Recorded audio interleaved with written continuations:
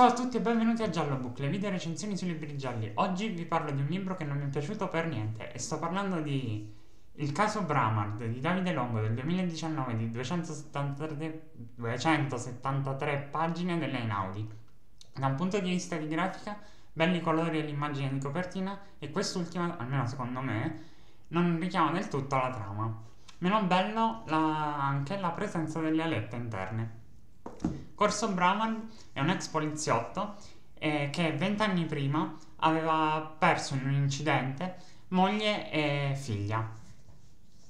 E eh, in tutto questo periodo ha ricevuto delle lettere anonime da parte di una persona e con l'aiuto del commissario Arcadipane cerca di risalire all'identità di questa persona. Da un punto di vista di trama, la storia ci sta, da un punto di vista di stile il libro si presenta con dedica, citazione, storia, note dell'autore.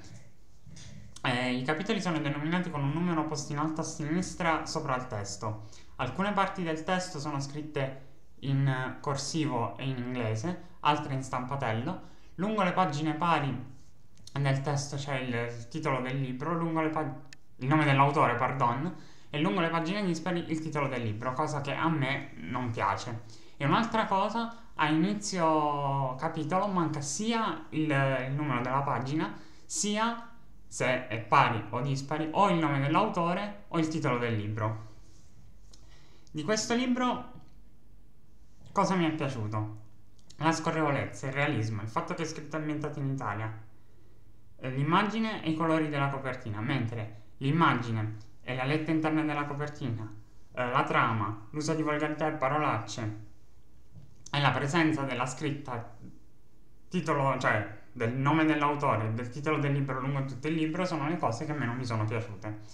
Di questo libro cosa penso in conclusione? Allora, è un libro brutto, oggettivamente brutto, nel senso che eh, vuoi per la storia, vuoi per eh, il fatto che non non venga descritta la città dove vengono svolti i fatti, vuoi per l'eccessivo uso di volgarità e parolacce, vuoi perché non, eh, a volte si fa fatica a capire chi sta parlando e chi no, vuoi perché non eh, è cupo, un senso di cupo per la storia, per eh, la vita di questo personaggio, il libro è brutto, nonostante sia scorrevole, sia eh, scritto e ambientato in Italia, sia anche leggero, ecco, o meglio, più leggero di altri libri.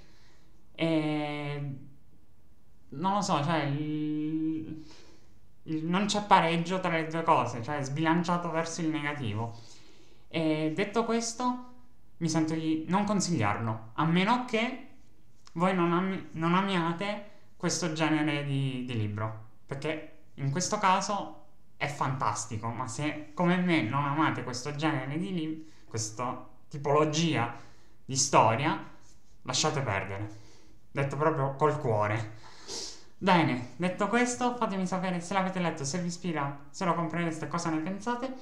Uh, vi ricordo di iscrivervi al canale e di attivare la campanellina se vi va, se vi piacciono i video che faccio di iscrivervi al canale di cui trovate il link in descrizione, di farmi sapere sempre des- eh, nei commenti se eh, e quali nuovi format volete, che se vi ricordo che se avete dubbi o domande di qualsiasi tipo potete scriverle sempre sotto nei commenti, io risponderò appena possibile e vi annuncio barra vi ricordo che il 30 settembre alle ore 21 circa eh, sarò in live qui su YouTube per festeggiare con voi i 10 anni dalla nascita del mio canale YouTube.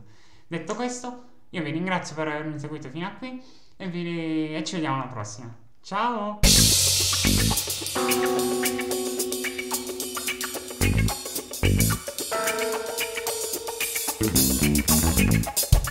you.